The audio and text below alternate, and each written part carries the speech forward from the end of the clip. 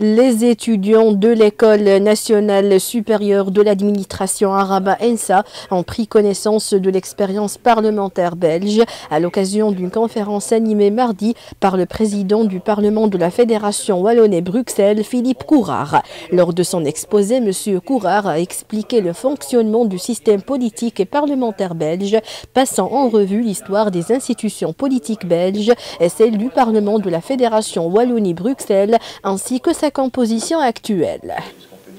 Je suis ici dans le cadre d'une entente parlementaire avec le Parlement euh, du Maroc et j'ai voulu euh, visiter des institutions nobles et de qualité au Maroc. Et donc euh, l'ENA est une école fabuleuse euh, qui a vraiment beaucoup de lettres de noblesse. Et donc j'ai rencontré le directeur qui m'a demandé de venir commenter la situation institutionnelle belge. Et donc c'était l'occasion d'avoir un échange avec les enseignants, mais aussi avec les étudiants de, de, cette école renommée sur la situation politique belge pour expliquer un petit peu les tenants, les aboutissants. Et donc je crois que cet échange, il apporte de la richesse, il permet aux uns et aux autres de se poser des questions, à moi-même de me remettre en, question peut-être, et aussi d'expliquer un peu le comment, du pourquoi. Les institutions, c'est quelque chose de vivant qui évolue en fonction des besoins de la population. Nous avons euh, reçu aujourd'hui M. Philippe euh, Courard, qui est président du Parlement de la Fédération Wallonie-Bruxelles, et qui a tenu une conférence euh, dans laquelle il y a eu un échange avec les élèves et les enseignants de l'École nationale supérieure de l'administration sur le modèle